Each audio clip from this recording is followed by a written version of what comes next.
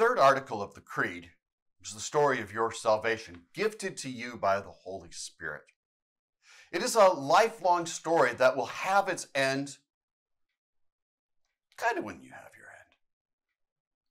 Until that day, the Holy Spirit is constantly at work, creating and sustaining faith in you to believe in God the Father and Jesus Christ and even Himself.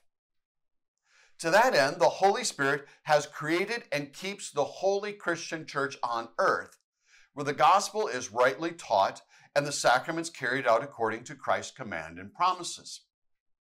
That Christian church has the local expressions of the communion of saints, where you are gathered by the Holy Spirit with other saints to daily receive the forgiveness of all of your sins. And one day, unless the Lord returns during your lifetime, from that communion of saints, the Holy Spirit will join you with angels and archangels and all the company of heaven in the Lord's presence. Then and there, the Holy Spirit will make you perfect and holy forever. But heaven's not your home. There's more to come the resurrection of the body. In the beginning, God created man from the dust of the ground, but he wasn't a living soul until the breath of God entered into him. Body and soul created by God for the purpose that he could redeem and sanctify us. When a saint falls asleep in Christ Jesus, the body and soul are separated for a time.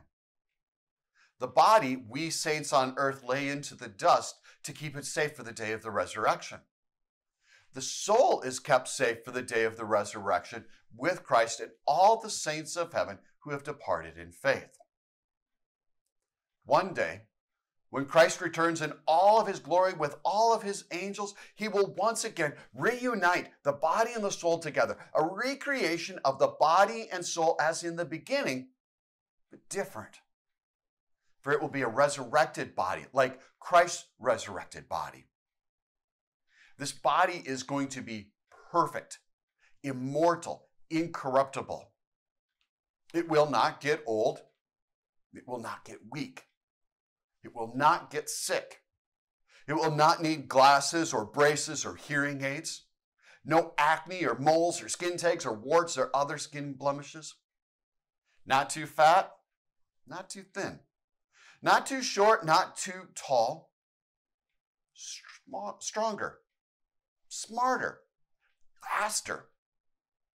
Not average, not good enough, but the best most perfect you that never has been but will be.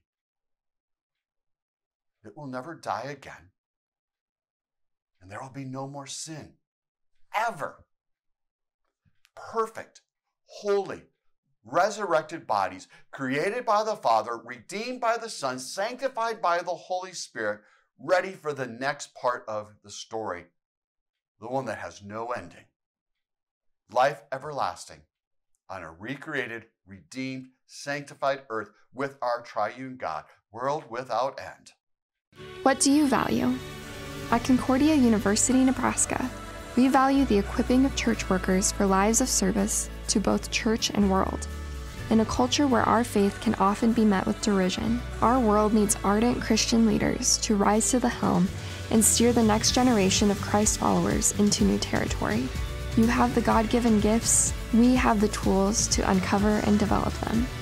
We are Nebraska's university with values.